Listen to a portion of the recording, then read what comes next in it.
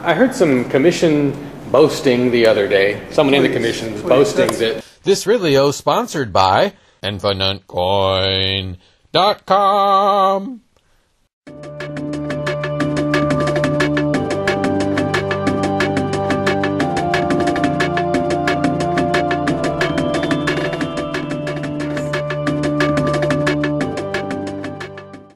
Are you in the Conservation Commission?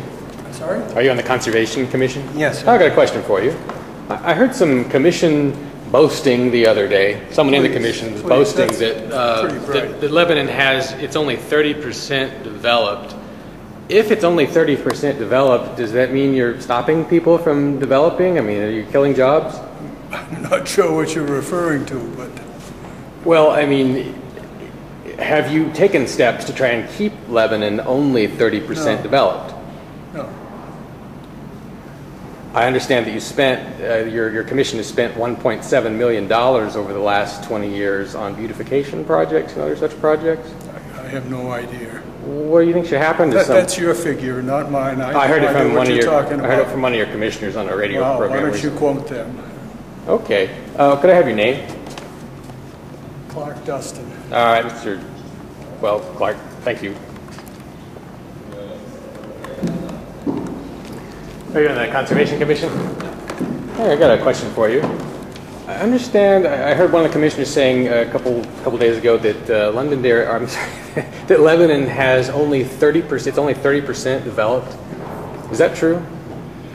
I don't know. But to what extent are you guys actually trying to stop development? How many jobs have you prevented from being creating, created? I don't know. We're not preventing any jobs from being created.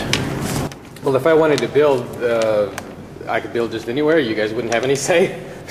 That's not what you're saying, is it? Make suggestions.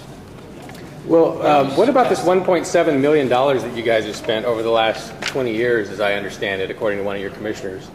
Uh, what, would, what should happen to someone if they refuse to pay for that because they don't agree with the way you're spending the money?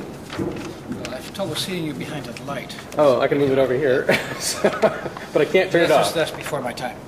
Well, uh, would you advocate less such spending? Uh, I don't know. All right, could I have your name?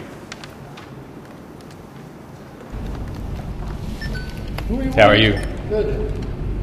Oh, it's Dave Ridley with thereport.com. I'm good. Oh, okay. Are you on the Are you on the Conservation Commission?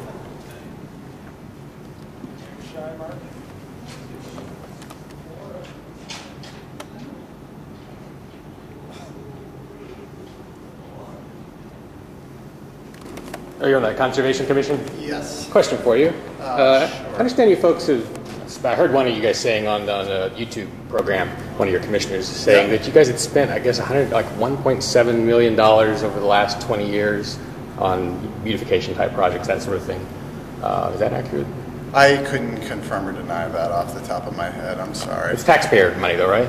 Uh, it's money. Any money that we spend from the loss fund is from uh, from land that's been taken out of current use. It's the current use penalty, and that's how we raise the revenue for that. So it, it is or isn't taxpayer dollars? Uh, it depends on how you look at it. I So- see.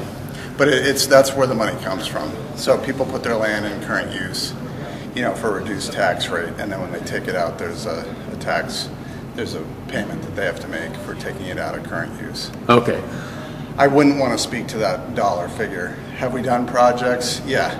Have we tried, and recently too, we've been trying to be more creative in how we spend money, you know, be more prudent.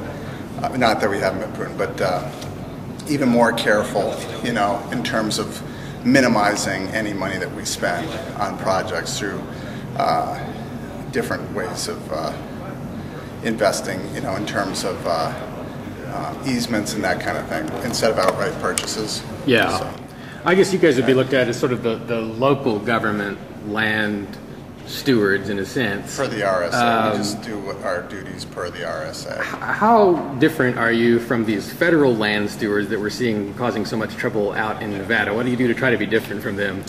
Uh, I can't comment on them because I'm not really sure how they're set up. We're just for the BLM. city of Lebanon. Yeah. Well, I know you don't have too many snipers.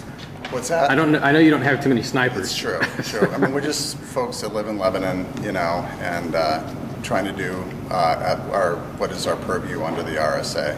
All right. So, Could I have your name?